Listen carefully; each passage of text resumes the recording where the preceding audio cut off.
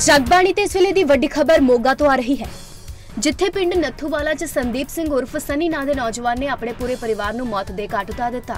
ਇਸ ਖੌਫਨਾਕ ਘਟਨਾ ਨੂੰ ਸ਼ੁੱਕਰਵਾਰ ਰਾਤ 12:00 ਵਜੇ ਦੇ ਕਰੀਬ ਅੰਜਾਮ ਦਿੱਤਾ ਗਿਆ। ਪਰਿਵਾਰ ਦੇ ਪੰਜ ਮੈਂਬਰਾਂ ਦੀ ਹੱਤਿਆ ਤੋਂ ਬਾਅਦ ਸਨੀ ਨੇ ਖੁਦ ਨੂੰ ਵੀ ਗੋਲੀ ਮਾਰ ਲਈ। ਸਨੀ ਨੇ ਚੋਰੀ ਦੀ ਰਿਵਾਲਵਰ ਨਾਲ ਇਸ ਖੌਫਨਾਕ ਵਾਰਦਾਤ ਨੂੰ ਅੰਜਾਮ ਦਿੱਤਾ, ਜੋ ਉਸਨੇ ਇੱਕ ਰਿਸ਼ਤੇਦਾਰ ਦੇ ਘਰੋਂ ਚੋਰੀ ਕੀਤੀ ਸੀ।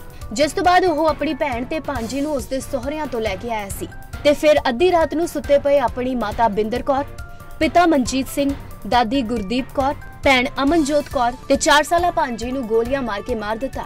ਜਦੋਂ ਕਿ 81 ਸਾਲਾ ਦਾਦਾ ਗੁਰਚਰਨ ਸਿੰਘ ਗੰਭੀਰ ਰੂਪ ਨਾਲ ਜ਼ਖਮੀ ਹੈ। ਸਨੀ ਨੇ ਇਹ ਕਤਲ ਕਿਉਂ ਕੀਤਾ? ਫਿਲਹਾਲ ਇਸ ਦੇ ਕਾਰਨਾਂ ਦਾ ਕੋਈ ਪਤਾ ਨਹੀਂ ਲੱਗਾ। ਫਿਲਹਾਲ ਪੁਲਿਸ ਨੇ ਮੌਕੇ ਦਾ ਜਾਇਜ਼ਾ ਲੈ ਲਾਸ਼ਾਂ ਨੂੰ ਕਬਜ਼ੇ 'ਚ ਲੈ ਲਿਆ ਹੈ ਤੇ ਮਾਮਲੇ ਦੀ ਕਾਰਵਾਈ ਸ਼ੁਰੂ ਕਰ ਦਿੱਤੀ ਹੈ। ਮੋਗਾ ਤੋਂ ਵਿਪਨ ਓਂਕਾਰਾ, ਜਗਬਾਣੀ ਟੀਵੀ।